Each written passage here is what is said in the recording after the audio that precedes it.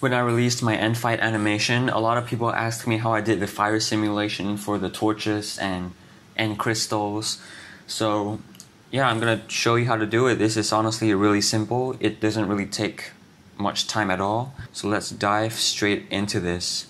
So open Blender. First things first, I'm just gonna append a torch model from Boxscape Studios. Link download link in the description below. Blocks, objects, and let's search for torch. Boom, here's our torch.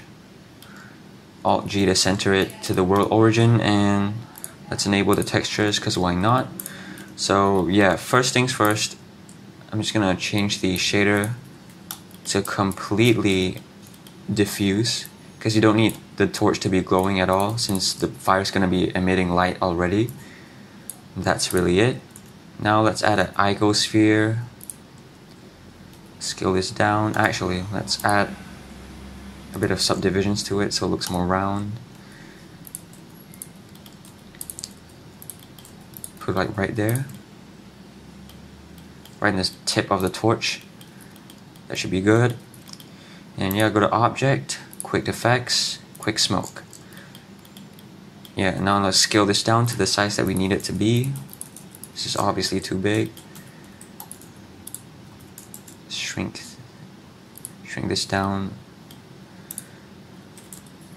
so the fire is going to be about the same length of the torch so this, a domain like this should be good.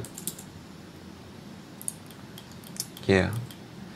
Alright, so now let's change some settings. Go to physics properties, select your icosphere, change this to fire because it's obviously going to be fire, not smoke. And domain settings, let's change this to 80 as a preview. Time scale, yeah, we'll, we'll, we'll mess with these settings later. We're to see how this looks like first, so change this to modular. Enable is resumable so you can resume the bake. And let's bake like 70 frames for now. Alright it's baked. Let's play it. And first things first it's obviously too fast so we're gonna have to change the time scale and I can see that the the flame is clipping the flame is way too big so we're gonna have to change the flame length or size so let's free the data let's bring the time scale to like 0.4 I find that to be a good time scale number. And under fire, we're going to change the reaction speed to like 3. And this should be all the settings you need. And now, let's play this. The speed looks great, and the flame isn't really clipping anymore. It does touch the top of the domain a bit, but meh, no big deal.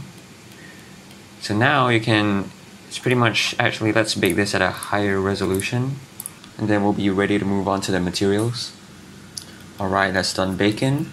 Let's take a look.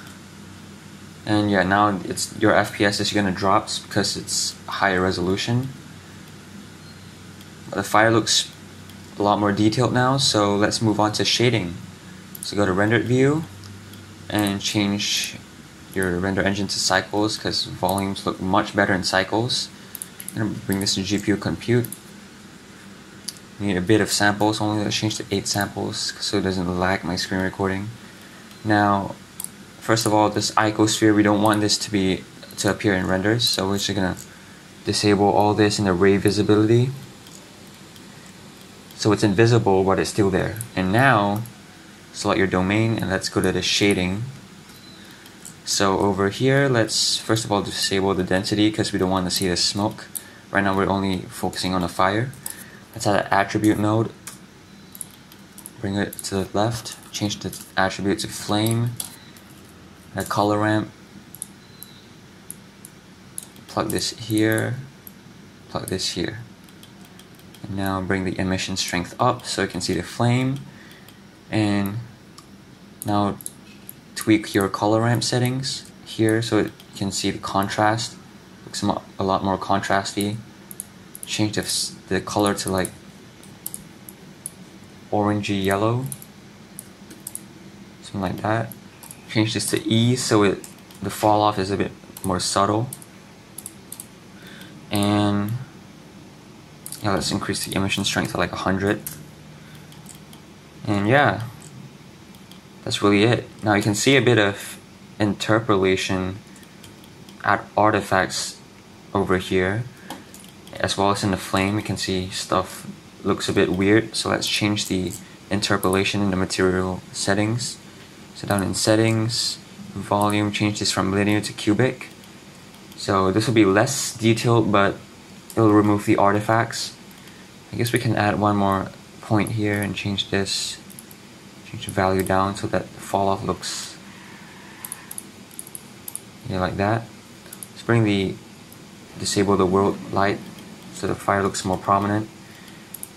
I guess it's a bit too saturated, so let's bring the saturation down. Emission up.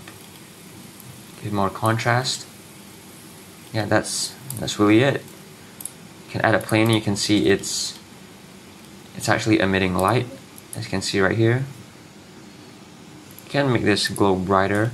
Actually, now that I look at it, it's actually glowing way too dimly.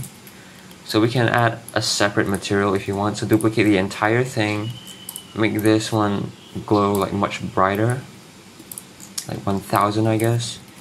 Add a mix shader, mix these two together. A light paths node, is camera ray, plug it here. Actually switch this around like that and here it is. So your fire would look your fire wouldn't look too bright because at a thousand emission it'll look like white already so we're just gonna bring this to like 500 so it's it's not gonna be look the fire won't look too bright but it'll be emitting more light the fall off is too harsh I guess we can change that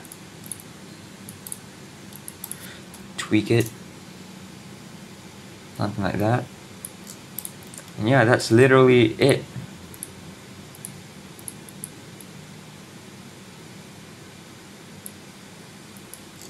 So yeah, you're done. Thanks for watching.